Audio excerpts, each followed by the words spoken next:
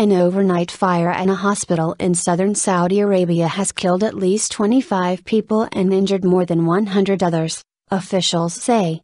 The blaze broke out in the intensive care and maternity departments of the Jizan General Hospital, the Civil Defense Agency tweeted.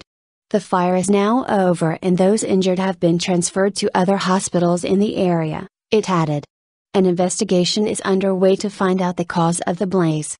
Country Profile Saudi Arabia fire sweeps Saudi residential block. One witness told Saudi television an electrical fault appeared to be to blame, and that the fire had swept through the building in minutes.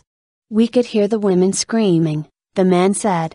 The blaze badly damaged the interior, charring walls and leaving wreckage dangling from the ceiling. 21 civil defense teams helped extinguish the fire, according to the agency. Some Saudis took to social media to complain of what they said was inadequate infrastructure in the area. Saudi authorities also faced heavy criticism earlier this year after a stampede at the Hajj pilgrimage killed hundreds. Jizan is near the border with Yemen, which has seen months of fighting between Houthi rebels and Saudi backed forces.